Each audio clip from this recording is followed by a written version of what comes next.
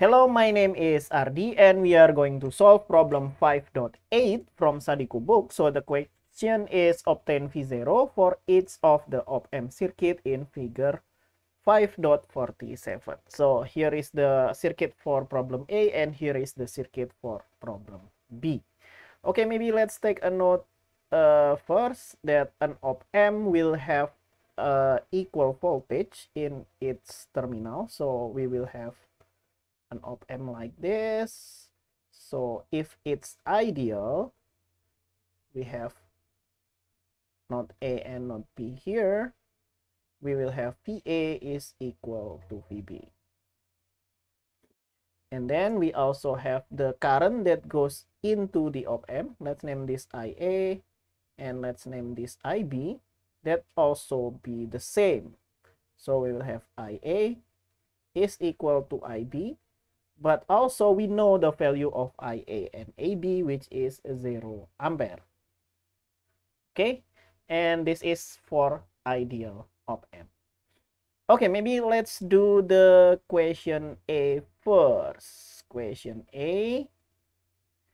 Uh, we have this op amp here and let's set this as our ground so the voltage here will be zero and because this is connected to the positive terminal of op amp the voltage here will be also zero okay now let's name this node here as node a we will have va is equal to the other terminal here so we will have va is equal to zero but we can also do KCL at VA by assuming the current direction first. So we will have this one here. Okay, KCL at node PA.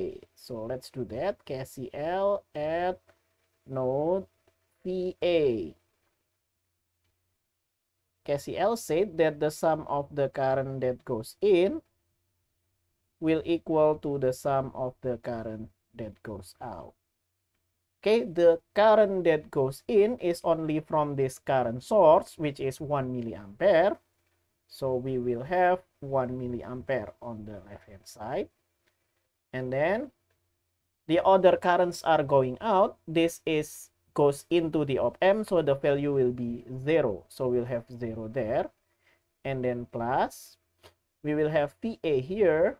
So we'll have VA minus V0 P0 will be the one that we are looking for divided by 2 kilo ohm.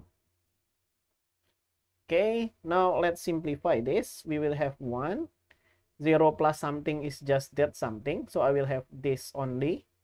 But then VA is 0. So I will have 0 minus V0 divided by 2. Okay, let's cross multiply. So I will have 2 is equal to minus V0 or V0 here is equal to minus 2 volt.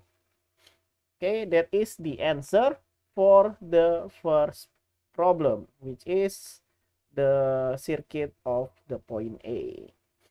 Okay, maybe let's clean up the board to get more space.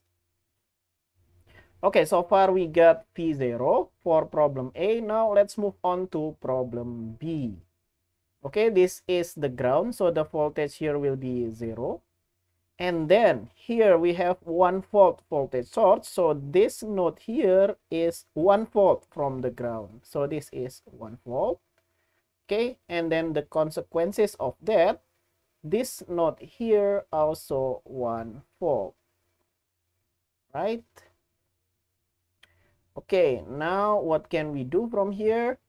Uh, we can find out the node here. It has to be 2 volt lower than this 1 volt here.